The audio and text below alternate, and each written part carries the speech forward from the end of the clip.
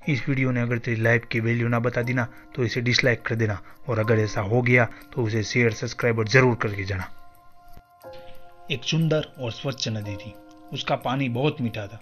एक पंद्रह सोलह साल का लड़का उस नदी का मीठा पानी पी के अपनी प्यास बुझाता है और सोचता है, ये नदी का मीठा पानी कब तक मीठा रहेगा? जब तक वो समंदर से ना मिल जाए तब। उसके बाद इस पानी की उतनी ही वैल्यू रहेगी जितनी उस समंदर के खारे पानी की वैल्यू है। वो सोचकर वो बहुत दुखी होता है। कुछ देर बाद वहाँ से उठ के वो अपने घर जाता है और वो अपने पापा से सवाल करता है, पापा, मेरी लाइफ की वैल्यू क्या है? उसके पापा कहते हैं, अगर तुम सच में अपनी ज़िंदगी की कीमत समझना चाहता है तो मैं तुम्हें एक पत्थर देता हूँ। इस पत्थर को लेकर तुम मार्केट चले जाना। और अगर तुम्हें कोई इसकी प्राइस पूछे तो कुछ मत कहना। सिर्फ़ दो उंगली दिखा देना। वो लड़का वो पत्थर लेकर मार्केट जाता है। वो कुछ देर वहाँ ऐसे ही बैठा रहता है। लेकिन कुछ देर बाद उसके पास एक बूढ़ी औरत आती है। और उस पत्थर का प्राइस पूछने लगती है। वो लड़का एकदम सुर्ख बैठा रहता है और सिर्फ़ दो उंगली दिखा देता है। बूढ़ी औरत बोली, दो सौ रुपये ठीक है, मैं तुम्हें इस पत्थर के दो सौ रुपए देकर तुमसे यह पत्थर खरीद लूँगी।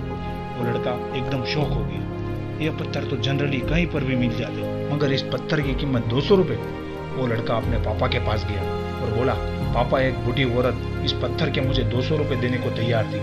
तभी उसके पापा मुस्कुराए और बोले, ऐसा करो इस बार तुम इस पत्थर को लेकर म्यूज़ियम चले जाओ। और अगर कोई इसकी प्राइस पूछे तो कुछ मत कहना, सिर्फ़ दो उंगली दिखा देना। वो लड़का पत्थर लेकर म्यूज़ियम चला जाता है। तभी एक आदमी की नज़र उसके हाथ में रहे, इस पत्थर पर पड़ी।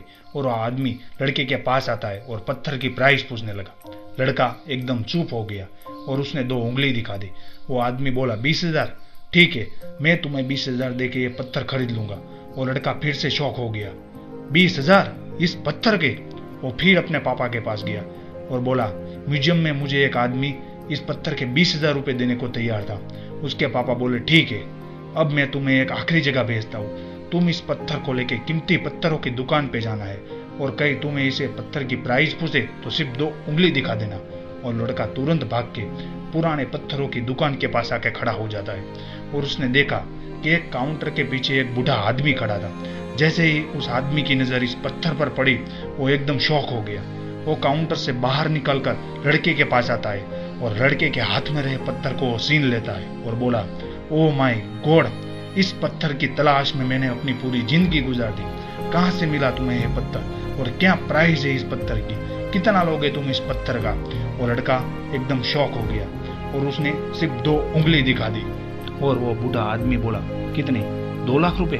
मैं तुम्हें दो लाख रुपए देने को तैयार हूँ। बस तुम मुझे पत्थर दे दो। उस लड़के को अपनी आँखों पर विश्वास नहीं हो रहा था। वो जल्दी से अपने पापा के पास गया और बोला, पापा, वो बूढ़ा आदमी इसके लिए मुझे दो लाख रुपए देने को तैयार है। तभी उसके पापा बोले, क्या तुम समझे अपनी लाइफ की वैल्यू?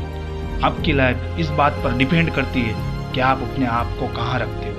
आपको डिसाइड करना चाहिए, आपको 200 का पत्थर बनना है या दो लाख का। ज़िंदगी में कई सारे ऐसे लोग होंगे जो आपको बहुत प्यार करते हैं। उनके लिए आप सब कुछ हो।